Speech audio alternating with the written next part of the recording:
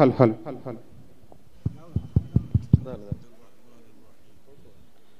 अब्बास हाजी कोलूर इले वेदिके आह्वान केटुला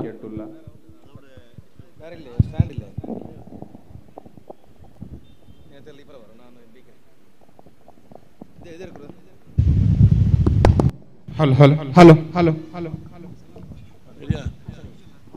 हाँ। हाँ لله الحمد لله رب العالمين والصلاة والسلام على سيد الأنبياء والمرسلين وعلى سائر الأنبياء والمرسلين والصلاة وعلى وآل كل والصحابة أجمعين أما بعد പ്രിയപ്പെട്ട ഭൂമിനിങ്ങളെ എനിക്ക് ട്രെയിനിന് തിരിച്ചു പോകാനുണ്ട്. അതുകൊണ്ട് നീട്ടി സംസാരിക്കുന്നില്ല. ഇന്ന് രാവിലെ അഞ്ചു മണിക്ക് മർക്കത്തുനിന്ന് പുറപ്പെട്ടിട്ടാണ് ജുമാക്ക് ഇവിടെ എത്തിയത്. ഏ? അത്രയും ദൂരവും വിഷമവും ഒക്കെ ഉണ്ട്. അതെല്ലാം സഹിച്ചു വരുന്നത് നിങ്ങളോടുള്ള സ്നേഹം. നിങ്ങളെല്ലാവരും അലഹമില്ല അഹ്ലുസുന്നത്ത് വൽ ജമാഅത്തിന്റെ ആശയത്തിലും ആദർശത്തിലും സത്യത്തിലും ഉറച്ചു നിൽക്കുന്ന മൂമിനീങ്ങളാണ് എന്ന കാരണത്താൽ എനിക്ക് നിങ്ങളോടെല്ലാം വലിയ സ്നേഹമാണ്. നിങ്ങൾക്ക്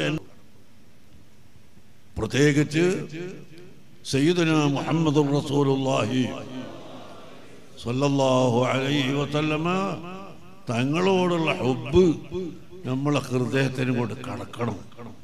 അവിടത്തോടുള്ള മഹബത്ത് നമ്മുടെ ഹൃദയത്തിന്റെ ഉള്ളിൽ കടക്കണം.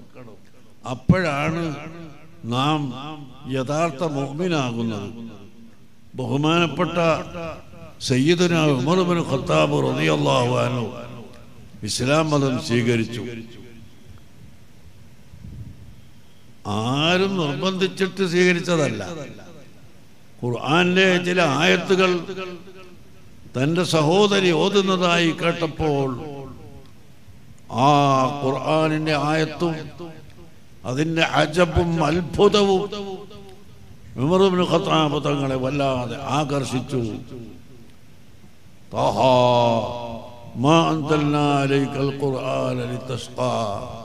എന്ന് പറയുന്ന ഈ ആയത്ത് ഉമർബിൻ ഖത്താബ് തങ്ങളുടെ സഹോദരി ഓതുന്നത് ഉമർബിൻ ഖത്താബ് തങ്ങൾ കേട്ടു.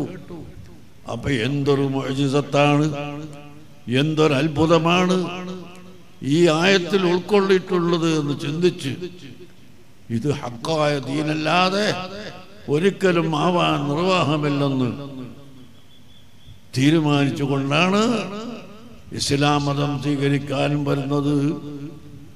മുഹമ്മദ് റസൂലുള്ളാഹി സ്വല്ലല്ലാഹു അലൈഹി വസല്ലമ തങ്ങളടുക്കൽ വന്നു. ഷഹാദത്ത് കലിമ ചൊല്ലി ഉച്ചരിച്ചു. എന്നിട്ട് പറഞ്ഞു ഖത്താബ് തങ്ങളോട് റസൂല്ല പറയുന്നു നീ എന്റെ വലിയ ശത്രുവായിരുന്നുവല്ലോ. എന്നെ കൊല്ലാനും ഇല്ലാതെയാക്കാനും എല്ലാം ശ്രമിച്ച ആളായിരുന്നുവല്ലോ. എന്നാൽ ഇന്ന് നീ എന്നെ പ്രിയം വെക്കുന്നു. നീ എല്ലാ വസ്തുക്കളെക്കാളും എന്നെ പ്രിയം വെക്കണം എന്ന് പറഞ്ഞപ്പോൾ ഖത്താബ് തങ്ങൾ പറഞ്ഞു വഹിപ്പുക്ക അൻ ഇല്ലാ നഫ്സി. ഓ ഹബീബായ നബിയെ എന്റെ സ്വന്തം ആത്മാവിനോടാണ് എനിക്കധികം പ്രിയമുള്ളത്.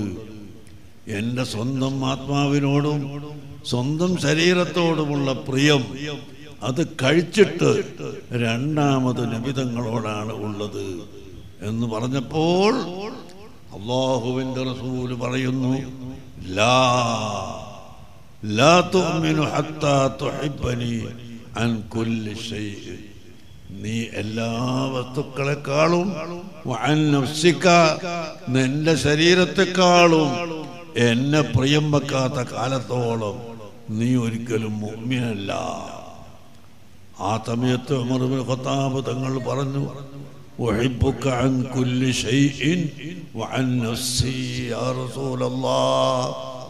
എന്റെ നഫ്സിനെക്കാളും എല്ലാ വസ്തുക്കളെക്കാളും തങ്ങളെ ഞാൻ ഇഷ്ടപ്പെടുന്നു. ഇത് പറഞ്ഞപ്പോൾ അൽ ആനയാ ഉമർ അൽ ആനയാ ഉമർ. ഇപ്പോഴാണ് നീ ശരിയായ മോമിനായത്. അപ്പൊ അതുകൊണ്ട് നമ്മളെല്ലാവരും അഷ്റഫുൽ ഖൽക്ക് സല്ലല്ലാഹു അലൈഹി വസല്ലമ തങ്ങളെ ആദ്യമായി പ്രിയം വെക്കണം. അള്ളാഹുവിന്റെ സൃഷ്ടികളെ കൂട്ടത്തിൽ. അള്ളാഹുവിനോടുള്ള പ്രിയം അതിനോട് തുല്യമായ മറ്റൊരു പ്രിയമില്ല. വല്ലദീന മോമിനീങ്ങൾ അള്ളാഹുവിനെ ഏറ്റവും അധികം പ്രിയം വെക്കുന്നവരാണ്. കാരണം അള്ളാഹു തലയാണ് നമ്മളെ പടച്ചത്. അള്ളാഹു ആണ് നമുക്ക് വെള്ളം തന്നത്. അള്ളാഹു ആണ് നമുക്ക് ഭക്ഷണം തരുന്നത്. അള്ളാഹു ആണ് നമ്മുടെ എല്ലാ ഹൈറും തരുന്നത്. ഷെറിൽ നിന്ന് നമ്മളെ രക്ഷപ്പെടുത്തുന്നത്. എല്ലാം അള്ളാഹു ആണ് അതുകൊണ്ട് അള്ളാഹുവിനെയാണ് ഏറ്റവും അധികം പ്രിയം. അത് കഴിച്ചാൽ നബിസല്ലാഹു തങ്ങളോട് പ്രിയം. ആ മഹബത്ത് നമുക്ക് വേണം.